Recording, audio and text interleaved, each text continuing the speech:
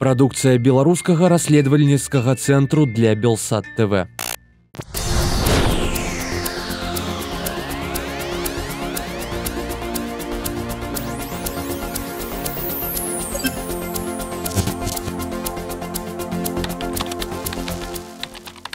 Усё валится і ўсё падае. Валіцца расійскі фондавы рынок, валіцца расійскі рубель, але валіцца і амерыканскі фондавы рынок і нават крыптавалюты. Што адбываецца, як гэта ўсё будзе адбівацца на нашых з вами гаманцах. У эфіры перадача эканоміка з чалам. З вами уласна Сергей Чалы. И Станислав Ивашкевич. Витаем. Добрый день. Распродавали просто э, все активы. Фундаментально оценки рисков вложений в белорусские активы оценивают хуже, чем надежность вложений стран, которые могут оказаться воюющими э, между собой. Что-то поменялось безвозвратно. По сути дела, речь идет о возвращении долгосрочных трендов. Да, Федеральная резервная система будет повышать процентные ставки в этом году, и этого будет недостаточно, чтобы с инфляцией справиться. Это все было полемика с невидимой нам другой стороной, которая предлагала нас банку, что вы какой-то ерундой занимаетесь. Лучше я вас заставлю, чем нас всех вместе заставит І так на пачатку фронтавыя весткі з палёў так мы звычайна кажам фігуральна маючы на ўвазе весткі з беларускай эканомікі але тут сапраўды сітуацыя максімальна набліжаная да вайны якая ўплывае на сусветную і беларускую эканоміку гаворка пра рост напружанасці на украінска-расійскай мяжы что там адбываецца як это все ўплывае на э, на экономику света и на нас. Да, судя по всему, действительно напряженность растет, и количество войск российских стянутых границы постоянно увеличивается. Я так понимаю, там уже за 100 тысяч перевалило уже значит, состав э, личный, который там находится. Причем пишут, что это же не абы войски. Да, именно так. Вплоть до того, что сами американцы говорят, по их данным разведки, там будут задействованы войска, которые имеют опыт боев в городах спецназ и так далее, плюс тяжелая техника, которая едет, мы все видели эти кадры, едет с Дальнего Востока и так далее. В общем, все сложнее, знаешь, как это, как это развернуться назад. Вот. Ну и на самом деле, когда мы рассказывали, помнишь, про то, что что-то странно ведут себя мировые рынки, включая падение российского рубля, включая падение российского фондового рынка. Прошлая неделя это было довольно сильное падение, там несколько дней подряд сильное падение акций, там буквально доходило там до десятка процентов э, значит, за неделю. Вот, причем широким фронтом падение шло, то есть понятно, что это не какое-то отдельное событие, это распродавали просто э, все активы, что есть. Вот, то же самое с облигациями происходило, то же самое с рублем. Особенно интересно это то, что значит, это все происходит на фоне роста цен на нефть, причем нефть находится сейчас на довольно рекордных уровнях. То есть, если смотреть, это вот буквально локальные пики там, предыдущих лет. И вовсю уже говорится о том, что без всякой даже особой значит, геополитически напряженной ситуации несколько инвестдомов рассматривают возможность роста цены нефти до 100 долларов, а значит, JP Morgan э, говорит о том, что в случае, если э, реализуется какой-то силовой вариант, то и до 150 этот рост возможен. Вот. И вот еще раз говорю, что на фоне вот этого роста цен на нефть падает российский рубль. Это ну, довольно необычно. Может быть. Конечно, это необычная ситуация, и это может происходить только в том случае, если у них одинаковая причина. То есть обычно рост цен на нефть – это какая-то фундаментальная штука, связанная со спросом и предложением. Теперь мы понимаем, что это просто опасность, закладывается опасность ну, повреждения вот этих самых а, путей да, возможных. И, соответственно, через эту же угрозу геополитической стабильности идет и влияние на российский рубль. По поводу вероятности этих событий, на самом деле, мне кажется, все ближе к этому идет. И просто когда столько много пороху, то там любая искра может э, эту ситуацию взорвать. Да? Но в любом случае, для того, чтобы оценивать э, последствия, нужно какие-то э, весовые коэффициенты этому придать. И вот примерно этим, значит, занимался инвестиционная компания «Ренессанс Капитал». Это просто, вот, ну, я напомню, эта компания из вот инвестдомов российских, она традиционно считается лучшей по research у. Так вот, «Ренессанс Капитал» значит, говорит о том, что в случае, если какие-то военные эскалации начнется, введение жестких санкций по вот этому типу пакета Менендеса, который может быть. И вот там интересно, что они говорят, что э, вероятность военного сценария э, они дают 15%, и 40% это вероятность сценария мягкой эскалации. Какие последствия для этого? Они говорят, ну, первое, это, конечно, отток Э, капитала из э, рынков, да, из активов российских, которые, они говорят, может достичь величины примерно сопоставимой вот с предыдущей эскалацией 2014 года.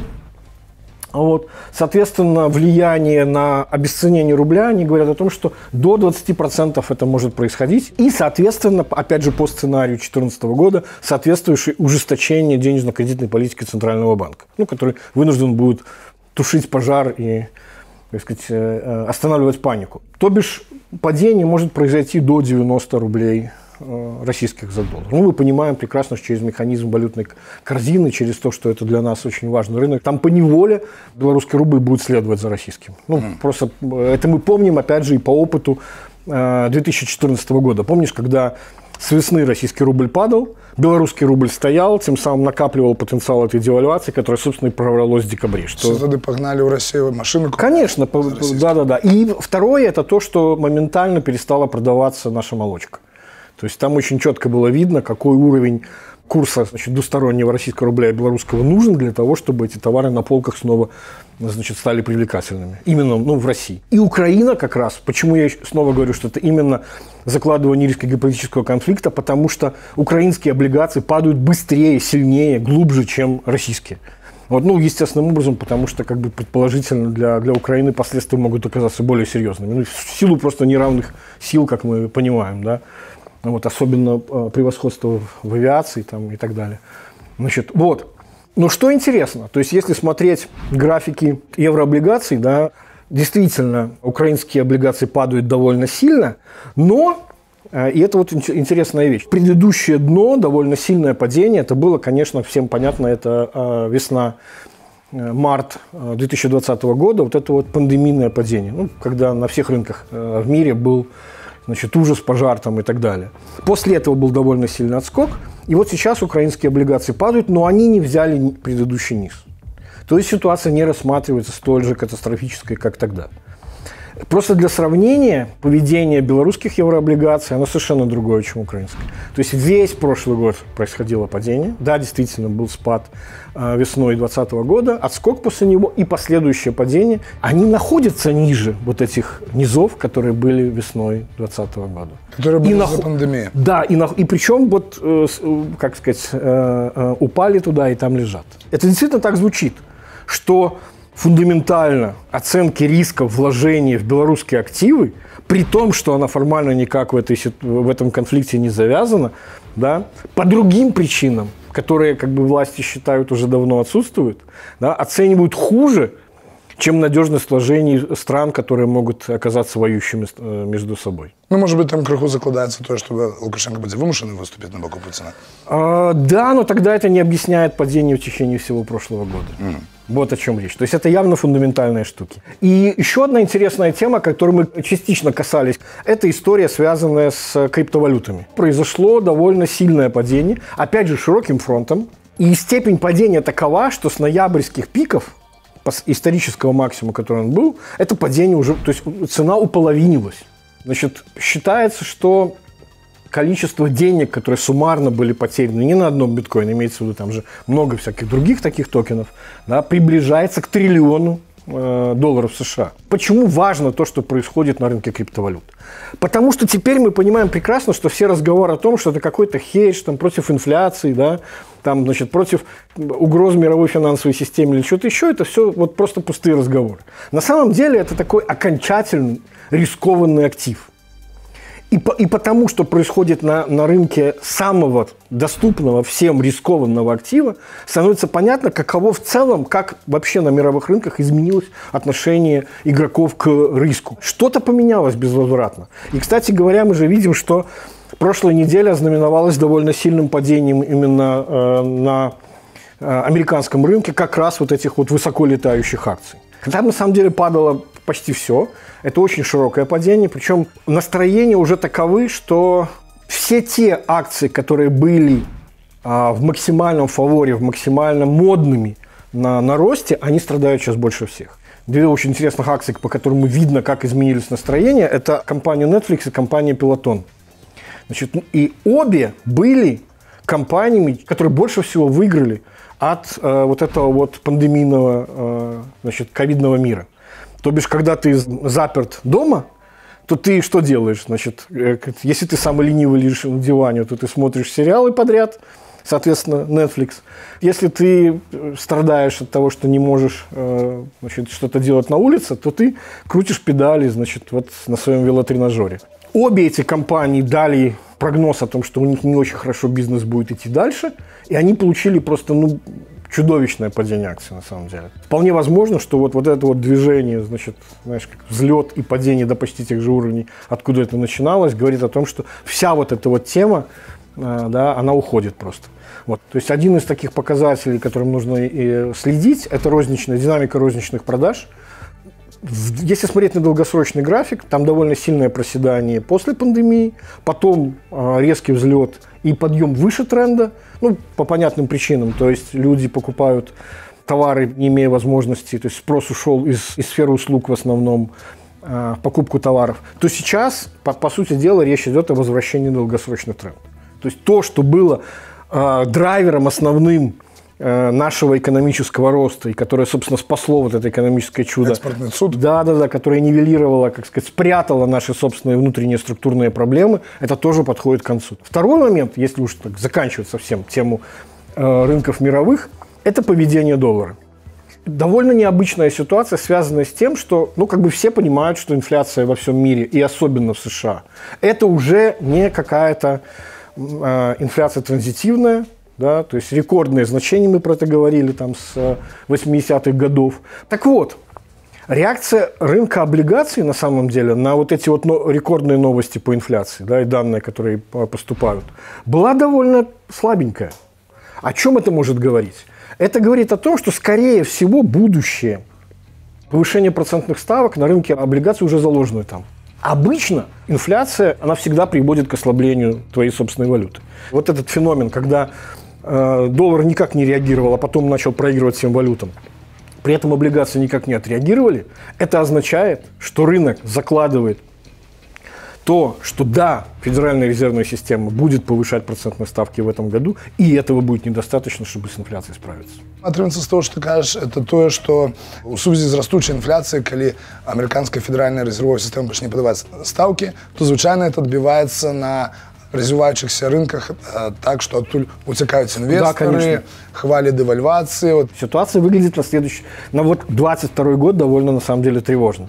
Ну и тогда лагічнае пытанне як это все будет отбиваться на наших з вами гаманцах у прыватнасці на беларускай эканомике а вот тут как раз самое интересное для того чтобы понять так быстро ответить я не смогу для этого нужно рассмотреть еще одну очень интересную тему которая скорее всего вертится вокруг того как будут реагировать наши экономические власти на вот изменяющуюся эту ситуацию. На необходимость политически обеспечить экономический рост потому что состоялось расширенное заседание Э, правления Национального банка. Там был отчет, естественно, за достигнутые значит, показатели 2021 года. В том смысле, что, значит, знаешь, как себя не похвалишь, никто не похвалит. Вот мы справились, вот мы развернули тенденцию, значит, оттока депозитов. Да, вот у нас население не только начало возвращаться в депозиты, но и стало нетто-продавцом валюты. И нехватка ликвидности на самом деле у белорусских банков. И Эту проблему, в общем, как бы начали решать. Решили настолько успешно, что действительно сейчас как бы э, белорусские банки залиты просто рублями. Это видно по всему. Это видно потому, что они не предъявляют спроса на деньги Нацбанка. А то же самое видно по межбанковскому рынку. Сейчас значит, там активность практически нулевая, то есть никому деньги не нужны. Теперь главная проблема э, банковской системы заключается в том, что да, ликвидности хватает – но ликвидность короткая. Это, ликвид... это деньги э, Центрального банка национального. На несколько месяцев. Конечно, максимум. И депозитные деньги, которые тоже очень короткие. Кредитование населения росло на самом деле, причем главным образом за счет кредитов на покупку недвижимости. Есть простое объяснение этому, потому что вложение в недвижимость люди рассматривают как альтернативную возможность запарковать свои средства, если ты не доверяешь э, банковской системе, особенно если у тебя крупные какие-то средства. Это косвенное свидетельство того, что доверие долгосрочное к банковской системе все-таки э, вернулось не до конца. Вот. Больше того, сами они в своем докладе, они же как раз и говорят о том, что да, тенденцию сломать удалось оттока средств, но главным образом за счет поднятия процентных ставок. Наша догадка заключалась в том, что вот это вот возвращение в рублевые инструменты, в депозиты и превращение населения в нетто-продавца валюты во второй половине прошлого года – это именно реакция на дифференциал процентных ставок разницу между валютным и рублевыми, которая довольно сильно выросла. То есть это спекулятивные деньги на самом деле. Атрымаецца ўрад кажа фінансуйце проекты прадпрыемстваў реального сектора. И даже, и даже Нацбанк говорит об этом банкам. Что давайте, мы же, мы же вам все сделали, мы же вам все поправили. Так, банки кажуць, у нас этой грошы толькі на пару месяцаў, а раней доўгія грошы, якія можна выдаваць на доўгі тэрмін, браліся за мяжой. Да. Такі даволі дарагія, але тым не менш, хоть это было. Была магчымасць такая взять на долгие грошы. И второе возражение, которое у них есть, связано с тем, что говорите, ну давайте кредитовать надежных заемщиков. Говорю, окей, мы готовы кредитовать надежных заемщиков. Ну мы увеличили долю, на самом деле, кредита реальному сектору. Но посмотрите, у нас и доля необслуживаемых кредитов выросла. О каких же тогда надежных заемщиках может идти речь? Я настаиваю на том, что это сейчас самое главное, такая, что ли, ну, развилка э, политическая, да, по какому направлению пойдут наши экономические регуляторы, экономические власти. И об этом, кстати, пишет сам Нацбанк там, в другой публикации в своем банковском вестнике. И она же тоже не просто так появилась. Там человек, который возглавлял отдел исследований Национального банка. Оказывается, значит, это же было неспроста. Это все было полемика с невидимой нам другой стороной, которая предлагала нас банку, что вы какой-то ерундой занимаетесь. Вы занимаетесь только финансовой стабильностью, там, ценовой, там, монетарной и так далее. А у нас вон реальный сектор загибается. Как же финансовая стабильность завода? Вот, например, давайте ее расширим и будем рассматривать, что, скажем, вы еще и за это будете отвечать. Вот. То бишь, атака на, э, как сказать, э, на независимость Национального банка сейчас, судя по всему, идет довольно серьезная. Вот. Некоторые деструктивные каналы даже публикуют э, значит, сливы таких вещей, как, например, письмо неожиданно, да, заслуженного банкира Петра Петровича Прокоповича, да, героя Беларуси, который, в принципе, ж и есть и, и Автор этой модели, конечно. Модели просто друковать, друковать гроши, девальвация, друковать еще. Ведь чем интересен именно Прокопович и его письмо? Кто, как не он, должен, вот появление его фигуры должно олицетворять, что как сказать, силы сторонников вот этой вот теории, как я ее называю, сторонников секты канализации денежной эмиссии, значит, как сказать, в аппаратном весе довольно сильно растут.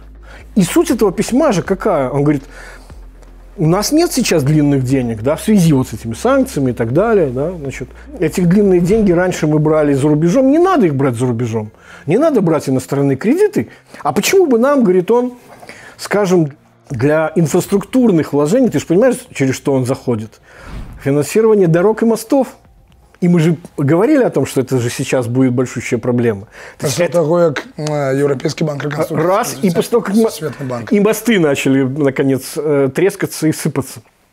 То есть это серьезная политическая проблема. Он заходит, по сути, с козырей, как бы бьет самую больную точку, говорит о том, что ну, для этого не грех и денег напечатать. Ну, а если что-то не напечатать, Опять же, логика какая? Мы не берем иностранный кредит, потому что их возвращать надо. А эмиссию зачем возвращать? Ну, действительно. И когда сам Нацбанк устами своих руководителей, своим коммерческим банком говорит о том, что, ребята, мы все для вас сделали, идите кредитуйте. Это же на самом деле почему он делает? Потому что он понимает, что идет на сам Нацбанк политическое давление. А какого черта? Ну, где ресурсы?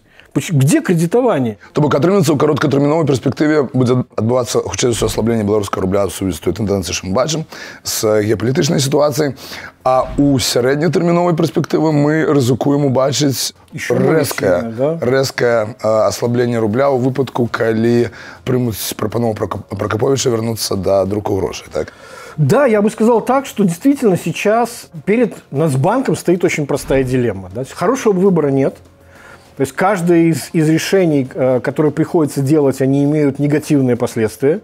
У нас банк говорит, коммерческие банки, лучше я вас заставлю, да, кредитуйте. Да, мы понимаем, что это приведет к ухудшению вашего там кредитного портфеля, там, значит, это... И просто эту рызыку отнесе в часе. Да, в случае чего мы надеемся, что как-нибудь там вам поможем. Лучше я вас заставлю, чем нас всех вместе заставят те, кто еще хуже представляют себя о том, что можно в экономике делать, чьи советы уже многократно были э, испробованы, и последствия которых были ну, просто чудовищно разрушительными. Каб не пропустить новые выпуски передачи «Экономика с Чалым», Подписывайтесь на телеканал Белсат в YouTube и социальных сетях. с вами был Сергей Чалы. Станислав До Ивашкевич. встречи. Всего доброго. Гэтая праграма была створана беларускім расследавальніцкім цэнтрам для Белсат ТВ.